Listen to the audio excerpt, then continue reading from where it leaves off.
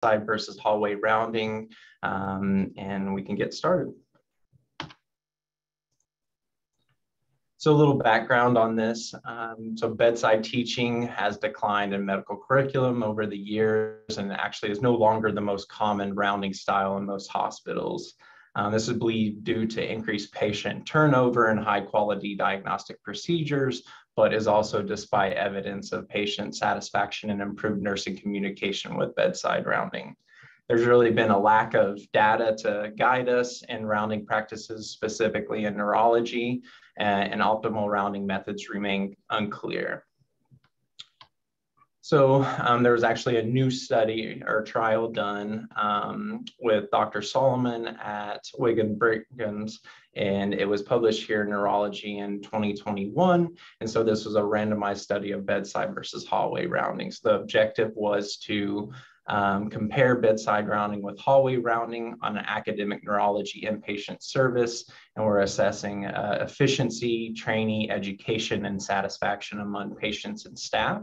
It was uh, designed as a single center prospective randomized trial only on new uh, admissions in over one week blocks. Now the bedside team presented patients at the bedside, whereas the hallway team presented patients outside of the patient's room.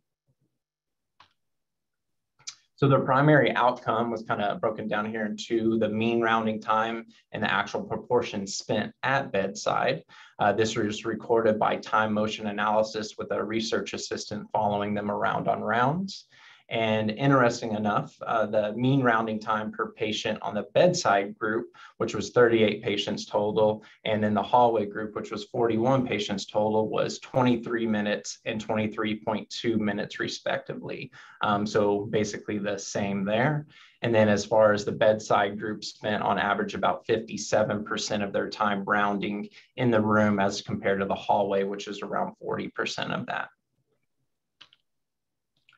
When they looked at secondary outcomes, this was more satisfaction among the patient, staff, and faculty. This was evaluated through a uh, five-point Likert scale survey. And so patients viewed bedside and hallway roundings really similar, uh, though when asked, um, patients who experienced the bedside roundings preferred that nursing. Um, they improved or perceived improved perception of their participation with rounds as well as felt more heard during rounding process. Now, the residents um, perceive the hallway rounding to be more efficient than bedside rounds and associated with a superior educational experience, along with a more effective data review. Uh, on the other hand, attendings perceive the bedside rounds to be more efficient and with better teaching of the history and physical exam techniques, but they did feel that the data review was better served in the hallway group. So just um, a little discussion here. Bedside rounding was perceived less favorable by most of the residents, but actually was as efficient as hallway rounding per the time motion analysis there. Now, um, this is maybe a paradoxical perception. Perhaps it's due to some anxiety about being in front of patients and presenting um, data review challenging and also the pressures of these time sensitive tasks that we ask of our residents uh, to complete, which requires a computer. Uh, although bedside rounding limited the use of technology for data review, it prompted nursing participation and resulted more time spent with the patient. This was a limited um, sample size here in this trial uh, with a low power and actually was cut short due to COVID and only a single center. So there are plenty of, of things that um, can be improved about this trial as well as not a whole lot of other outcomes measured.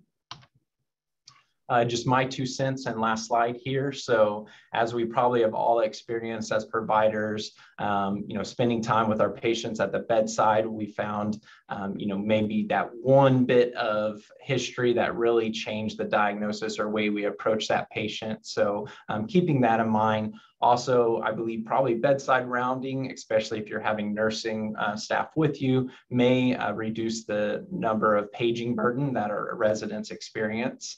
Um, but with all that said, I encourage everybody to kind of step outside their comfort zone and try to different rounding approaches to see what works best for your team as well as your patients. And we kind of have to remember that each individual patient is uh, individualized. So patients with delirium comfort care, for instance, might not be the best for a um, bedside approach. And that is it. Thank you, Jordan. Very wise words indeed.